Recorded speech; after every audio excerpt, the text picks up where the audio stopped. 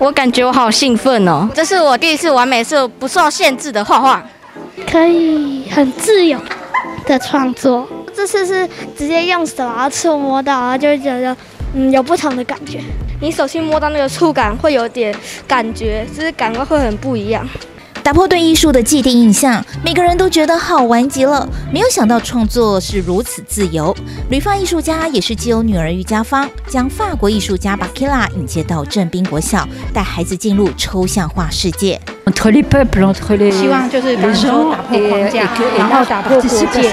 怎么去创作的这个过程是不一定要用画笔哦，我们现在是用心、用身体去感受呃内心的感觉，另一种创作的方式。还有创作完后的鉴赏，让孩子的创意更能展翅飞翔。透过这样子的交流哦，我们台湾的小朋友跟法国的艺术家哦有这样子的互动哦，带来不同的创作方式。那么我们在讲所谓的跨国啊、国际啊，其实就是从这种生活中的点点滴滴累积而来的。小朋友，你们喜欢吗？很喜欢。将创作完的作品重新拼组，又成了另外一幅全新创作。孩子们绕行分享，感受艺术创作的自由美好。